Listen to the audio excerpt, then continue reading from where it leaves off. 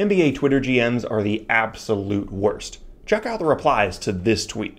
There's a reason that these people are just in the comments and not in an NBA front office. If you want to laugh at some trades, check out the replies. Okay, so it's safe to say that some people were not a huge fan of the replies to the first official 2019-20 NBA Trade Machine tweet, and that's fine. But as always, if you'd like to have a chance to be in these kinds of videos, then be sure to follow me on Twitter. You can tweet me some trade ideas over there, and as always, basically once a week, I will tweet out asking specifically for trade ideas for a specific player or two. But I actually thought there were some really good trades in these replies, even though there were also some really bad ones, but that kind of stuff is going to happen because people are going to value and evaluate some players differently, or it might just come down to the fact that they really want to try and get a certain player on their team, and so they come up with trades that aren't necessarily all that realistic. But even with all that said, let's go ahead and get into some trade ideas for Domantas Sabonis. So first up, at Arningbo, I guess is the best way to say that, has a really interesting Sabonis trade, and he says the Celtics would receive Sabonis in exchange for Grant Williams and Memphis's first round pick this upcoming season.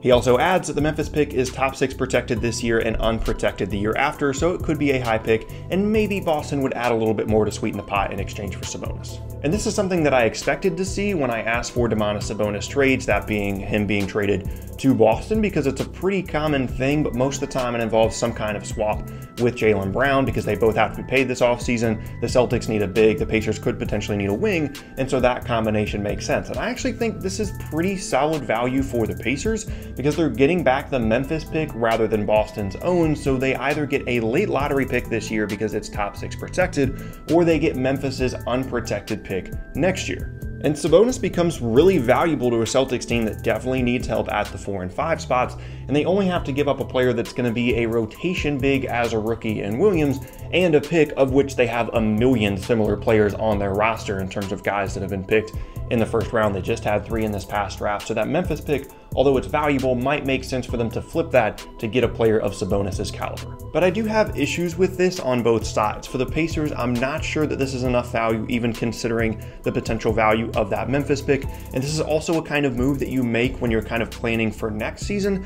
So really this only would make sense for them if their season doesn't really get off to a great start and they want to try and move on and get value out of Sabonis before having to pay him this offseason because in terms of this year, this would certainly make them worse. Grant Williams is not as good of a player as Sabonis, or at least I would be very surprised if he is as good as him initially, and then you get the pick as well. So for Indiana, it's a little bit more of a forward-thinking move, which it could be a little strange considering this is a team that could challenge for a four and five seed in the Eastern Conference this season. And then my issue for the Celtics is that they're going to have to worry about paying both Sabonis and Brown this offseason. Even though they're both restricted, which is nice, both these guys are going to demand pretty high value contracts, and that's something that the Celtics are going to have to juggle. They're already going through negotiations with Jaylen Brown at the moment, and so then when you add on having to pay Sabonis as well, that could be a lot, which I think is why a lot of people just kind of assume that if this did happen, it would involve a Brown for Sabonis swap in, in some kind of, uh, of way.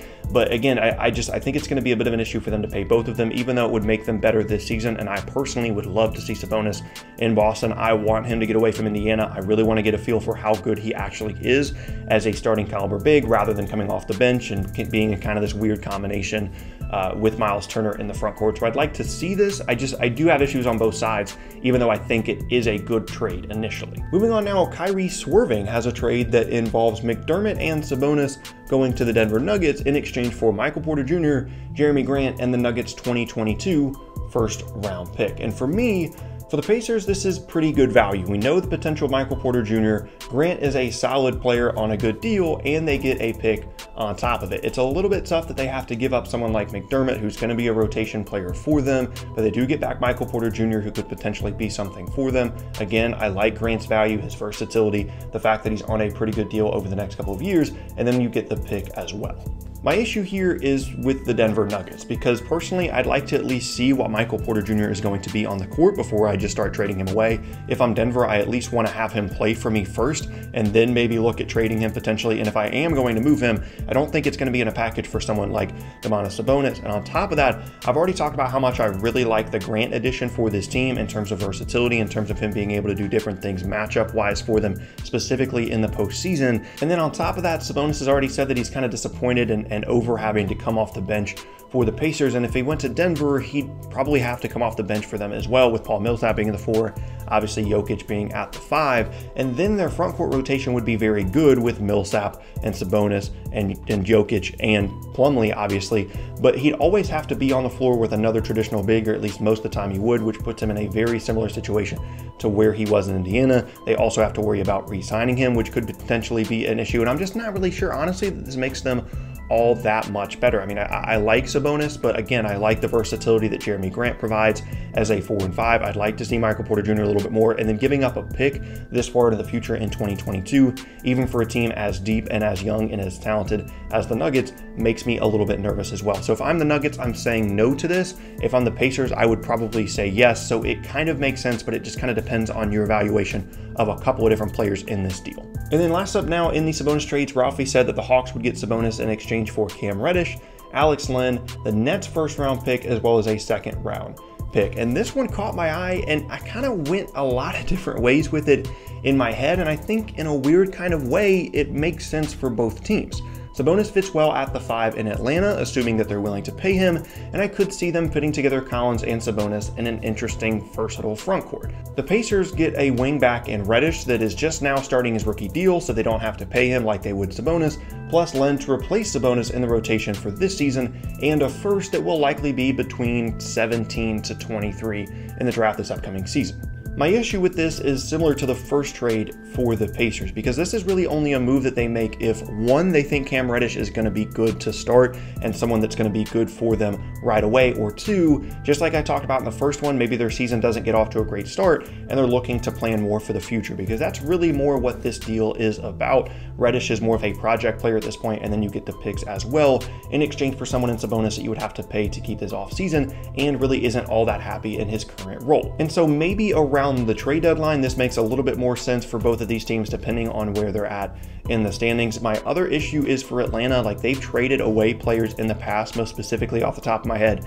I'm thinking about Taurean Prince. They traded away guys like that because they just didn't want to pay them so far ahead of schedule of some of the other younger players that they have on the roster. And I feel like they would be wary to pay Sabonis as well, not knowing how well he would fit with Collins in the front court when they've shown an interest in trading away players that they would have to pay prior to Collins and Young and then the two guys they just drafted as well. So even though I think this is interesting, I'm not convinced that either team would really say yes to this. And now we move on to another player. If you've never watched one of these Trade Machine videos before, I take some of y'all's suggestions for a player and then I come up with some of my own as well for different players. And we're going to move on to some Andre Iguodala trades now.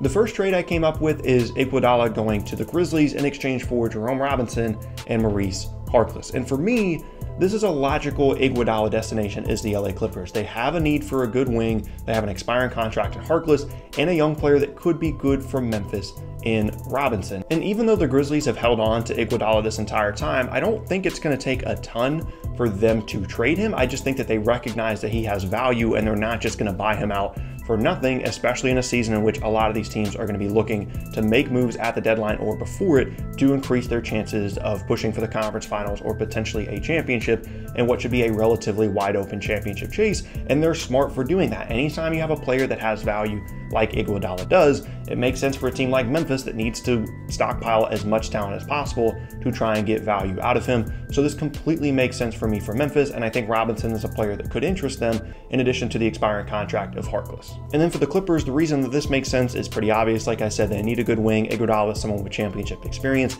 If this is a team that has real aspirations and looks like a real championship team by about mid-season, by the trade deadline, this is a move that certainly makes sense. The only reason I could see this not working out for either team is if the Clippers are really high on Robinson for some reason, or if Memphis has better offers on the table for Iguodala that potentially involve some picks because the Clippers don't have any picks for the next like 20 years or so to end up trading away in a move like this. But on paper, assuming the other offers aren't better than this, I think this makes sense for both sides. And then last up, I have a trade where Andre Iguodala ends up with the Dallas Mavericks in exchange for Justin Jackson, Dorian Finney-Smith, and the expiring contract of Courtney Lee. And to be completely honest with you, this might not be great value for Andre Iguodala because even though like Justin Jackson and Finney Smith could be good assets, Finney Smith is signed long term. I think he's someone that can be good defensively, can make some shots. Justin Jackson has shown some signs of being a good shooter, former first round pick, and then you obviously have the expiring contract of Courtney Lee. If it was up to me, I would definitely take the Clippers offer if both of these were on the table. But assuming that maybe there aren't some better ones on the table,